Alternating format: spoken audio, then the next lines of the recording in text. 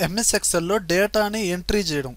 ఇప్పుడు స్కూల్స్లో కాలేజెస్లో కంపెనీస్లో కంప్యూటర్ ఆపరేటర్స్ ఉంటారండి. వీళ్ళందరూ ఎంఎస్ ఎక్సెల్ యూజ్ చేస్తారు. అలానే ఎంఎస్ వర్డ్ కూడా యూజ్ చేస్తారండి. ఈ లెటర్స్ రిజ్యూమ్స్ చలానా ఫామ్స్ ఇలా డిఫరెంట్ డిఫరెంట్ ఫార్మేట్స్ అందులో మనం క్రియేట్ చేస్తాం. అలానే టాలీ ఉంది. ఒక ఫినాన్షియల్ ఇయర్కి సంబంధించిన ట్రాన్సాక్షన్స్ అన్ని మనం ఎంట్రీ చేస్తాము. అలానే ఆ కంపెనీ అనేది ప్రాఫిట్లో ఉందా లాస్లో ఉందా అనేది మనం ఫైండ్ అవుట్ చేసుకోవచ్చు. అలానే ఎంఎస్ ఎక్సెల్ అనేది తక్కువ టైంలో ఎక్కువ క్యాలిక్యులేషన్ చేసి డిఫరెంట్ డిఫరెంట్ రిపోర్ట్స్ అనేది మనం ప్రిపేర్ చేయొచ్చు. దానికన్నా ముందు డేటాని ఎంట్రీ చేయాలి. ఇప్పుడు స్కూల్స్లో కాలేజెస్లో స్టూడెంట్ డేటాని ఎంట్రీ చేయాలి. అక్కడ ఉన్న ఎంప్లాయీస్ డేటాని ఎంట్రీ చేయాలి. కంపెనీస్లో ఎంప్లాయీస్ డేటాని ఎంట్రీ చేయాలి. స్టాక్ డేటాని కూడా ఎంట్రీ చేయాలి. ఇప్పుడు ఈ వీడియోలో ఒక బేసిక్ లెవెల్ నుంచి ఒక అడ్వాన్స్డ్ లెవెల్ దాకా డేటాని ఎలా ఎంట్రీ చేస్తాం? అసలు మనం అంటే మీరు డేటా ఎంట్రీ చేసే విధానం ఏ విధంగా ఉంది? ఇప్పుడు ఈ వీడియోలో ఏ విధంగా ఉంది? ఎలాంటి న్యూ డేటా ఎంట్రీ ఆప్షన్స్ మనం నేర్చుకుంటున్నాం? నేర్చుకోవడం వల్ల యూజ్ ఉందా లేదా? మన టైం సేవ్ అవుతుందా లేదా? ఇవన్నీ తెలియాలి అంటే ఈ వీడియోని స్కిప్ చేయకుండా ఫార్వర్డ్ చేయకుండా కంప్లీట్గా చూడండి.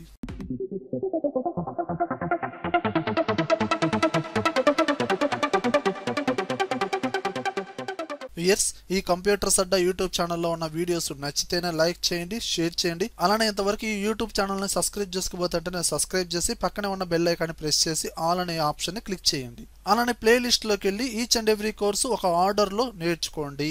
అలానే ప్రతి వీడియోలో కింద డిస్క్రిప్షన్లో కూడా ఈచ్ అండ్ ఎవ్రీ కోర్సుకు సంబంధించిన లింక్స్ కూడా ఇవ్వడం జరిగిందండి. అలానే కంప్యూటర్స్ అడ్డా డాట్ కామ్ అనే వెబ్సైట్లోకి వెళ్ళి ప్రతి కోర్సు మీరు ఒక ఆర్డర్లో చూసుకోండి. దానికి సంబంధించిన షార్ట్ కట్ కీస్ కూడా నేర్చుకోండి. ఇప్పుడు డైరెక్ట్గా కాన్సెప్ట్లోకి వెళ్దాం. చూడండి వ్యూయర్స్ ముందు బేసిక్గా ఎక్సెల్ యూజర్ ఇంటర్ఫేస్ గురించి చెప్పాలంటే ఇప్పుడు ఫస్ట్ టైటిల్ బార్ అంటారు ఇవి ట్యాబ్స్ అంటారు ఇందులో కమాండ్స్ ఉంటాయి అలానే నేమ్ బాక్స్ ఇది ఫార్ములా బారు అలానే మనకి ఇది మొత్తం ఒక షీట్ అండి. ఈ షీట్ మొత్తం మనకి బాక్సెస్ వైజ్గా ఉంటాయి. ఈచ్ బాక్స్ని సెల్ అంటారు. ఈ సెల్స్ మొత్తం మనకి కాలమ్స్ వైజ్గా రోస్ వైజ్గా ఉంటాయండి. వర్టికల్గా ఆల్ఫాబెట్స్లో ఉన్నాయన్ని కాలమ్స్ హారిజంటల్గా న్యూమరికల్ లెటర్స్లో ఉన్నాయి కదండి ఇవి రోస్ ఈచ్ బాక్స్ని సెల్ అంటారు. ప్రతి సెల్కి ఒక కోడ్ ఉంటుంది. ఆ కోడ్ అనేది నేమ్ బాక్స్లో డిస్ప్లే అవుతుంది.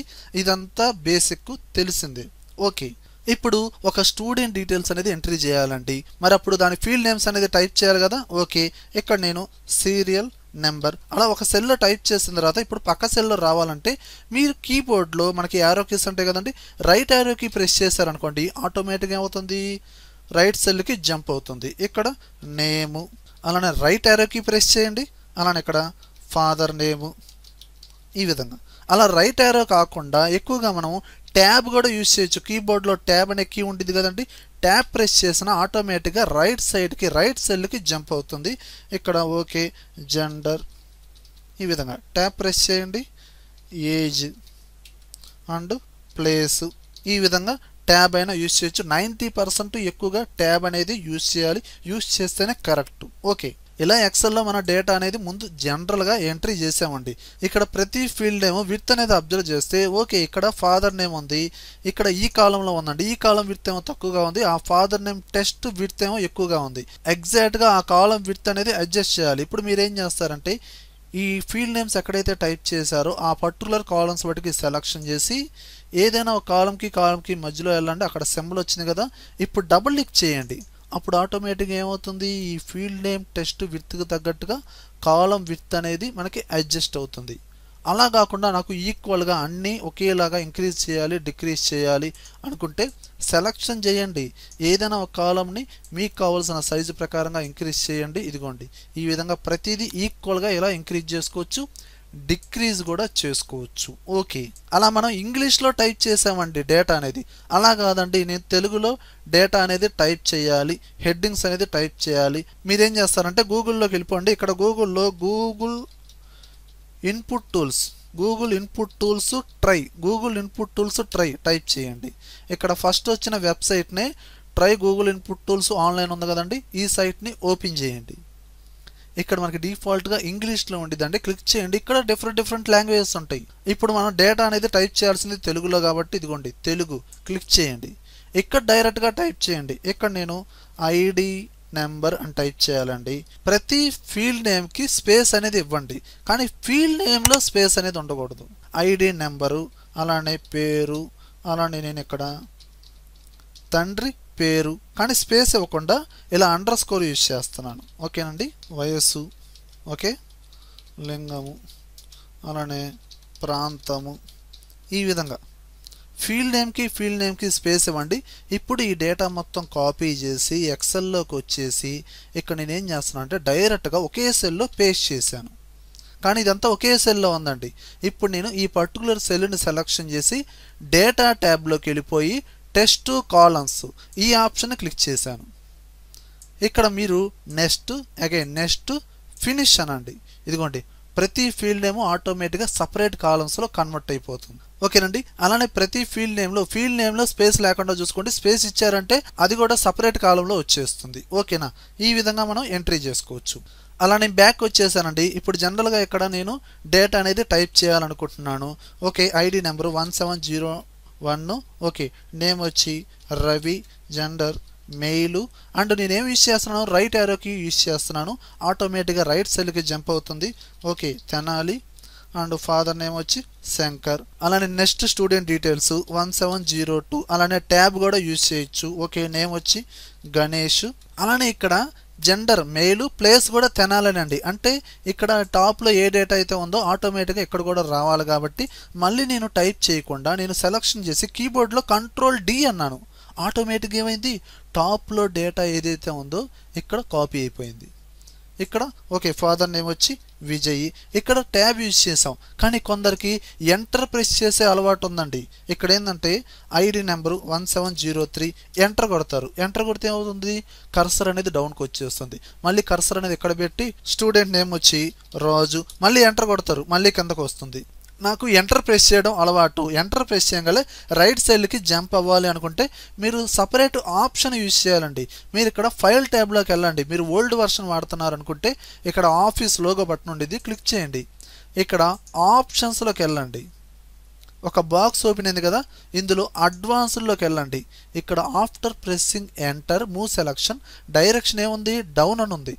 అందువల్ల డౌన్కి వస్తుంది. ఇక్కడ నేను రైట్లో పెట్టుకొని ఓకే అన్నాను. ఇప్పుడు చూడండి రాజు ఇక్కడ నేను మెయిల్ ఎంటర్ కొట్టండి పొరపాటున ఆటోమేటిక్గా రైట్ సైడ్కే వస్తుంది. అంటే ఎంటర్ ప్రెస్ చేసే వాళ్ళకి ఈ ఆప్షన్ అనేది బాగా యూజ్ అవుతుంది. కానీ ఎక్కువ శాతం ట్యాబ్ యూజ్ చేస్తేనే మంచిదండి.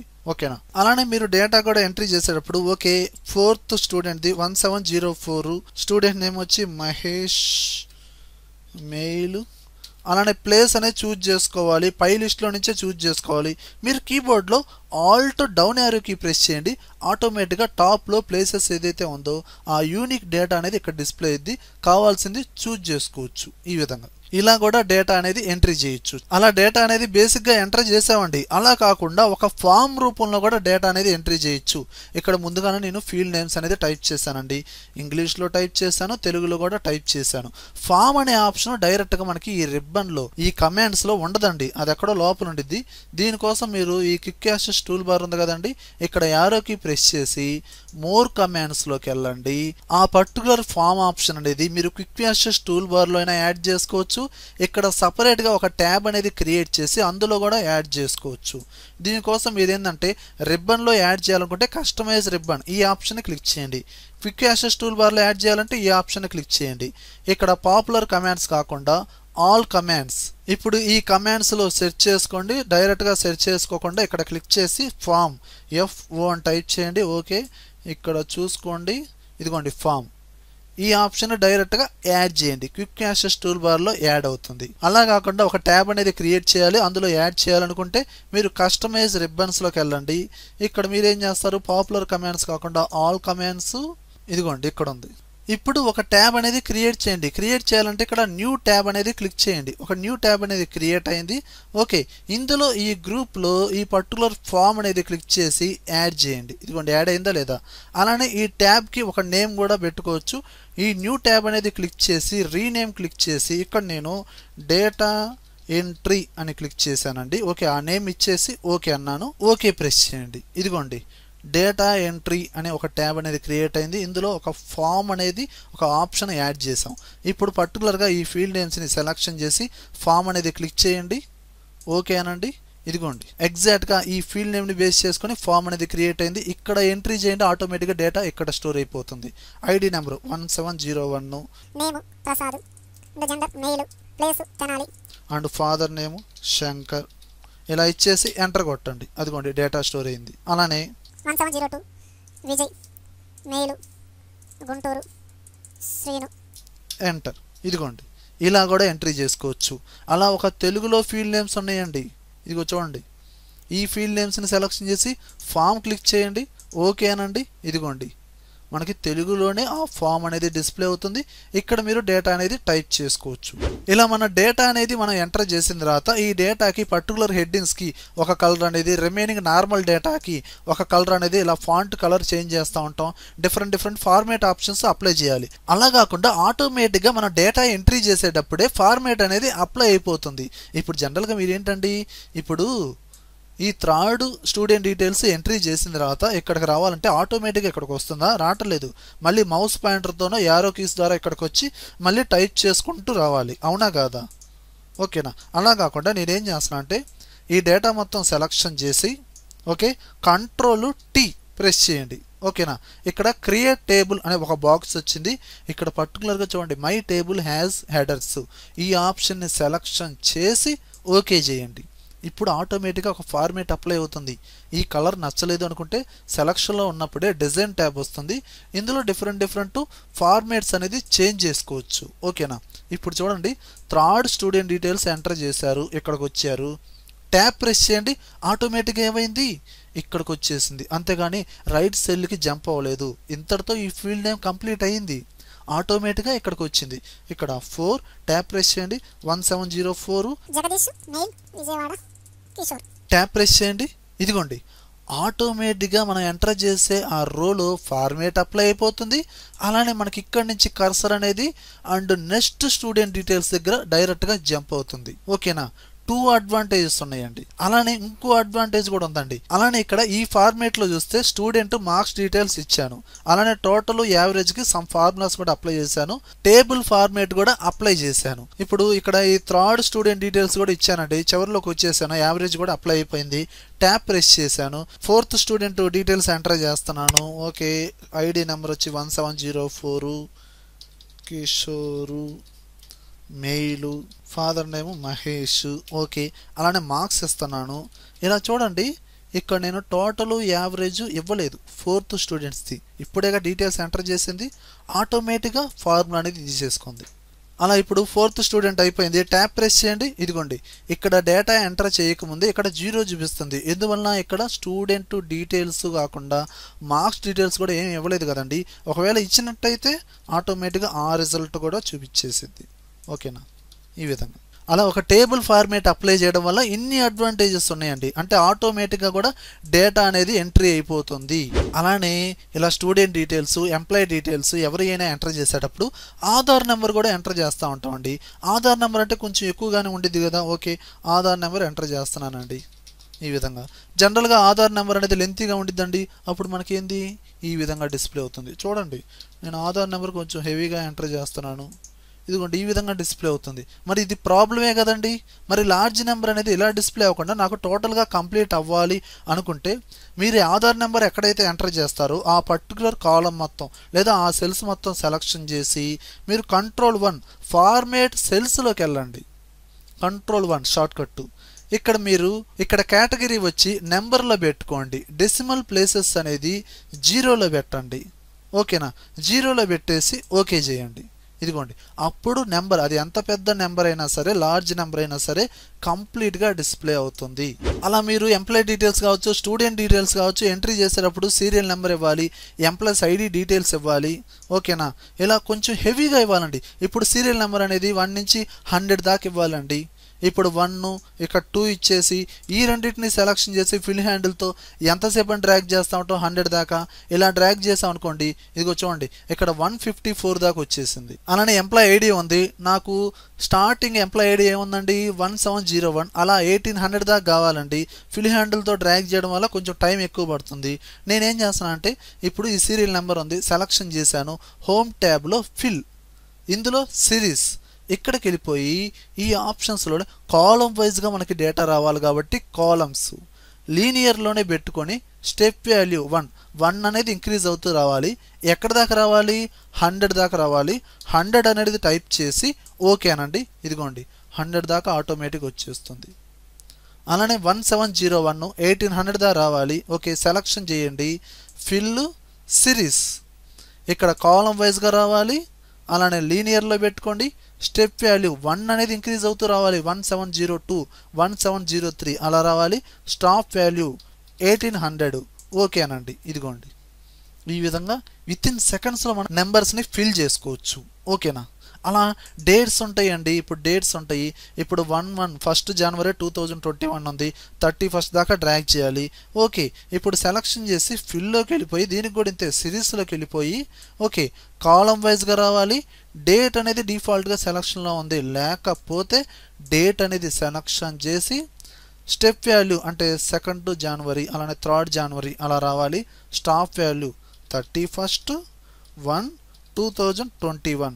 ఓకేనండి ఇదిగోండి ఈ విధంగా వచ్చేస్తుంది అలా కాదండి నాకు మంత్లీ వైజ్గా రావాలి.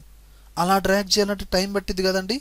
సెలక్షన్ చేయండి ఫీల్డ్లోకి వెళ్ళండి సిరీస్లోకి వెళ్ళండి. ఇక్కడ డేటు కాలమ్స్ వైజ్గా రావాలి. మంత్ అనేది ఇంక్రీజ్ అవ్వాలి. స్టెప్ వాల్యూ వన్ అంటే జనవరి ఫిబ్రవరి మార్చి అలా రావాలి. Stop value one December two thousand twenty one ఓకేనండి ఇదిగోండి.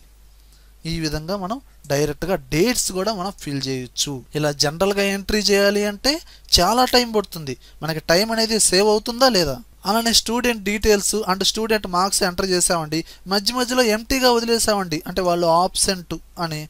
మరి అక్కడ ఎంటీగా కాకుండా ఎక్కడైతే ఆబ్సెంట్ అయ్యారో ఆ పర్టికులర్ సెల్స్లో ఆబ్సెంట్ అని టైప్ చేయారు. ఎక్కడెక్కడైతే బ్లాంక్ సెల్స్ ఉన్నాయో అవన్నీ సెలక్షన్ చేసి ఆబ్సెంట్ అని మనం ఇలా ఇచ్చి చాలా టైం పడుతుంది. అలా కాకుండా సెలక్షన్ చేయండి. కీబోర్డ్లో డైరెక్ట్గా ఎఫ్ ఫైవ్ ప్రెస్ చేయండి. మనకి గో టు అనే బాక్స్ ఓపెన్ అవుతుంది. ఇందులో గో టు స్పెషల్స్లోకి వెళ్ళండి. బ్లాంక్స్ ఓకేనండి? బ్లాంక్స్ అనేది సెలక్షన్ చేసి ఓకే చేయండి. పర్టికులర్ బ్లాంక్ సెల్స్ అనేది సెలక్షన్ అయింది ఇందులో ఆ బ్లాంక్ సెల్స్లో ఏం రావాలి? ఆప్సెంట్ అని రావాలి. షార్ట్కట్లో ఏబి అని ఇచ్చి కంట్రోల్ ఎంటర్ కొట్టండి. ఆటోమేటిక్గా ప్రతి బ్లాంక్ సెల్స్లో ఆ డేటా వస్తుంది. దానికి కావాలంటే ముందుగానే ఒక ఫార్మేట్ కూడా అప్లై చేసుకోండి ఈ విధంగా. అండ్ సెంటర్లో పెట్టేసుకోండి. ఓకేనా? ఇలా కూడా బ్లాంక్ సెల్స్లో డేటా అనేది డైరెక్ట్గా ఎంటర్ చేసుకోవచ్చు.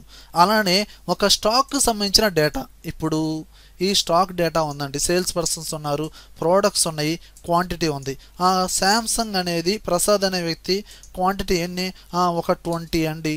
And each one cost nine thousand five hundred and formula ఎలా అప్లై చేస్తాం? Equal to twenty into nine thousand five hundred enter కొడతాము. Total sales value వచ్చేస్తుంది. కానీ కొందరు డేటా ఎంట్రీ చేసేటప్పుడు ఏం చేస్తారో తెలుసా అండి? ట్వంటీ అని దాంతోపాటు ట్వంటీ ఇచ్చేసి అవి నెంబర్స్ అని ఇచ్చేస్తారు. లేదా టెన్ అని ఇచ్చేసి సెట్స్ అని. లేదా ఫైవ్ ఇచ్చేసి పీసెస్ ఇలా ఇస్తూ ఉంటారు. అంటే నెంబర్తో పాటు టెస్ట్ కూడా ఇలా యాడ్ చేస్తారు. క్లియర్గా అర్థం అవడం కోసం. దీని తర్వాత ఫార్ములా అప్లై చేద్దామని చూస్తారు. Okay quantity into and each one cost enter కొడతారు. వచ్చిందా? రాదు. ఎందువలన అంటే ఆ పర్టికులర్ సెల్లో నెంబర్తో పాటు టెస్ట్ కూడా యాడ్ అయ్యి ఉందండి. ఎందుకు వస్తుంది? కానీ ఇప్పుడు నేనేం చేస్తున్నాను చూడండి. ఇప్పుడు నాకు పర్టికులర్గా ఈ క్వాంటిటీలో ఓకేనా ఈ క్వాంటిటీలో నాకు ఆటోమేటిక్గా సెట్స్ అని రావాలి నెంబర్స్ అని రావాలి పీసెస్ అని రావాలి. సెలక్షన్ చేసి ఫార్మేట్ సెల్స్లోకి వెళ్ళండి. కంట్రోల్ వన్ షార్ట్కట్టు కష్టంలోకి కస్టంలోకి వెళ్ళండి. ఇక్కడ జనరల్ అనేది తీసేసి మీరేం చేస్తారండి? హ్యాష్ డబల్ కోడ్స్ స్పేస్ ఇచ్చాను. స్పేస్ ఎందుకు ఇచ్చానని చెప్తాను. ఇప్పుడు ఇక్కడ నాకేం రావాలి? నెంబర్స్ మళ్ళీ డబల్ కోడ్స్ ఏం చేయండి? ఓకే ఓకేనండి ఇప్పుడు చూడండి. నేను ట్వంటీ అని ఎప్పుడైతే ఇచ్చానో ఆటోమేటిక్గా నెంబర్స్ అనేది యాడ్ అయిపోయింది. ఫైవ్ ఇదిగోండి. నెంబర్స్ అనేది యాడ్ అయిపోయింది. అలానే థర్టీన్ ఓకేనా అలానే ట్వంటీ ఫైవ్ ఆటోమేటిక్గా తీసుకుంది. ఫార్ములా కూడా అప్లై అయిపోతుందండి. Equal to quantity into and each one cost enter కొట్టండి. ఫార్ములా కూడా వచ్చేస్తుంది అలా ఇక్కడ ఈ సెల్స్లో ఇప్పుడు ప్రోడక్ట్ అనేది ఆయిల్ కాబట్టి లీటర్స్ రావాలి. సెలక్షన్ చేసి కంట్రోల్ వన్ ప్రెస్ చేసి ఫార్మేట్ సెల్స్లో కస్టమ్లోకి వెళ్ళిపోయి ఏం చేస్తారు ఇక్కడ? హ్యాష్ డబల్ కోడ్స్ స్పేస్ ఇవ్వండి. అండ్ నేను ఇక్కడ litres okay and double quotes end చేయండి. ఓకే చేయండి. ఇప్పుడు నేను ఇక్కడ ఓకే టెన్ లీటర్స్ ఆటోమేటిక్ వచ్చింది. స్పేస్ ఎందుకు ఇచ్చామంటే నెంబర్కి అండ్ అక్కడ ఇచ్చిన మెజర్మెంట్కి మధ్యలో స్పేస్ ఉందా లేదా? ట్వంటీ ఫైవ్ నెంబర్స్ అక్కడ స్పేస్ ఇచ్చాం కాబట్టి ఇక్కడ స్పేస్ వస్తుంది. ఇవ్వకపోతే స్పేస్ అనేది ఉండేదే కాదు. ఓకేనా? అండ్ ఫైవ్ ఇచ్చాను లీటర్స్ అలానే మళ్ళీ ఫోర్ ఇచ్చాను లీటర్స్ ఆటోమేటిక్గా మెజర్మెంట్స్ అనేది యాడ్ అయిపోతుంది. ఫార్ములా కూడా ఎలాంటి ఇబ్బంది ఉండదు. అలా మనకి మెజర్మెంట్ అనేది మనకి రైట్ సైడ్లో వస్తుంది. ఇక్కడ నాకు సేల్స్ అండి ఓకే ఇక్కడ ఫార్ములాస్ అప్లై చేశాను ఫిల్ హ్యాండిల్ని డబుల్ క్లిక్ చేశాను ప్రతిదీ సేల్స్ వాల్యూ వచ్చేసింది. ఓకే కానీ దీని ముందు రావాలి రూపీస్ అని. ముందు రావాలంటే ఎలా అప్లై చేయాలి తెలుసా? సెలక్షన్ చేసి కంట్రోల్ వన్ ప్రెస్ చేసి ఫార్మేట్ సెల్స్లో కస్టంలోకి వెళ్ళండి. ఇక్కడ జనరల్లో ముందుగానే మీరు డబుల్ కోడ్స్ ఇవ్వండి. రూపీస్ అండ్ స్పేస్ ఇవ్వండి డబుల్ కోడ్స్ ఎండ్ చేయండి హ్యాష్ ఇవ్వండి ఇప్పుడు ఎంటర్ కొట్టండి. ఇదిగోండి దీని ముందు ఈ విధంగా యాడ్ అయిపోతుంది. కానీ ఇక్కడ మీరు తెలివిగా ఆలోచించండి. ఇప్పుడు జనరల్గా ఇక్కడ నెంబర్స్ ఇలా వచ్చేసినాయి అండి. లీటర్స్ అంటే లీటర్స్ నెంబర్స్ సెట్స్ బాక్సెస్ ఎలా కావాలంటే అలా మెజర్మెంట్ యాడ్ అవుతుంది. ఓకే ఇప్పుడు నేను చూడండి. ఇక్కడ నేను వన్ ఇచ్చాను. వన్ ఇచ్చిన నెంబర్స్ అనే వస్తుంది కదా. సన్ఫ్లవర్ ఆయిల్ క్వాంటిటీ వచ్చి వన్ ఇచ్చాను. అండ్ ఇక్కడ ఫైవ్ ఇచ్చాను. ఫైవ్ అంటే లీటర్సే. మరి వన్ అంటే లీటర్స్ అంటారా? లీటర్ అంటారు. అలానే శాంసంగ్ క్వాంటిటీ వచ్చి వన్ అయితే నెంబర్ అంటారు. ఒకటి కన్నా ఎక్కువ అయితే అప్పుడు మనం ఏమంటాం? నెంబర్స్ సెట్స్ ఇలా అంటాం. ఒకటి ఉంటే నెంబర్ సెట్ లీటర్ ప్యాకెట్ ఈ విధంగా అంటాం. అంటే ఒకటి ఇస్తే నెంబర్ అని రావాలి. ఒకటి కన్నా ఎక్కువ ఇస్తే నెంబర్స్ అని రావాలి. అప్పుడు దానికి సెట్టింగ్ ఎలా చేయాలంటే చూడండి. నేను ఇంతవరకు సెలక్షన్ చేసి ఫార్మేట్ సెల్స్లోకి వెళ్ళాను. షార్ట్ కట్ కంట్రోల్ వన్ కస్టంలోకి వెళ్ళాను. ఇక్కడ నేను ఎలా యూజ్ చేస్తున్నానంటే open bracket equal to one one కనుక ఉంటే క్వాంటిటీ హ్యాష్ డబల్ కోడ్స్లో నేను ఇక్కడ నెంబర్ మళ్ళీ డబల్ కోడ్స్ క్లోజ్ చేయండి.